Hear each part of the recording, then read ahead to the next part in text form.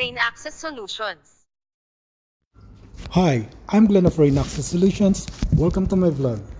On this episode of Reynaxis Solutions, I'm going to show you how we install the Canon TS5060. This is an edible printer and our company is using this edible printer to print on edible papers and we use those printouts to put them on top of the cakes and um, sell it to the clients or to our customers. As you can see here, our staff Benjamin is helping us to unbox the newly purchased um, Canon um, edible printer from uh, which which came from overseas from China.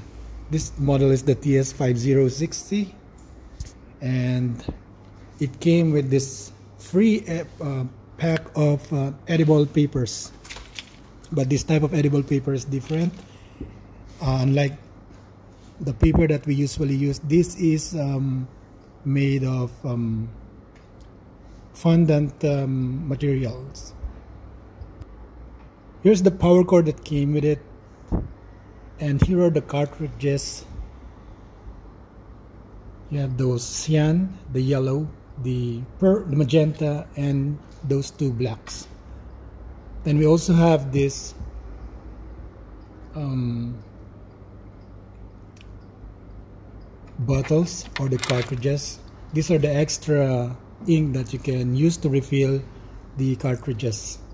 So it just came with four colors. Those colors that I mentioned earlier. So we have the cyan here and um, the yellow magenta and um, black.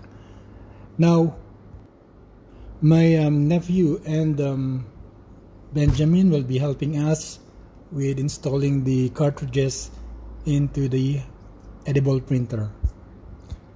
The ink in these cartridges are also edible. You can drink them or uh, eat the papers to which they are printed onto and you will not die. Just follow how my nephew Ivan is doing the insertion of cartridges into the printer and you'll be fine. By the way, the orange um, plastic that came with the cartridges is very useful and don't lose them because you will use them later for refilling the empty cartridges.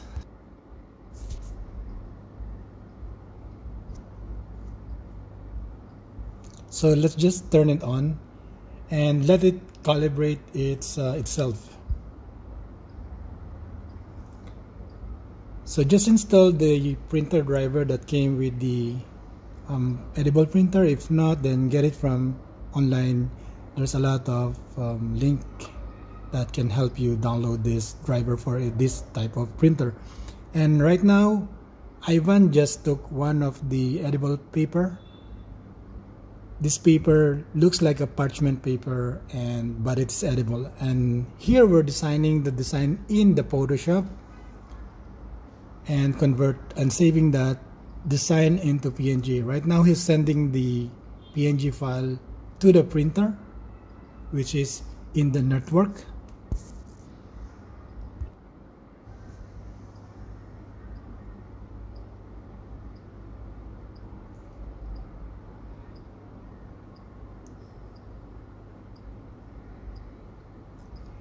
When using the printer during the first time, it might take a while to print. Uh, this is the free edible paper that came with it and I don't recommend using this one because it's uh, fragile because it's uh, made of fondant. It's difficult to put into cake later when once you remove the plastic covering. Uh, as you can see, Ivan is tasting it and here's another manager, Sha. And she's going to taste it also. They said it's nice. Here, the edible printer is now printing and as you can see the output is really crisp and really nice. As you can see the colors are vibrant and this is how the customers is always coming back to us. Now this is how you close it and just put all those uh, protruding parts back and it's done. Thank you very much for watching anyone. Bye.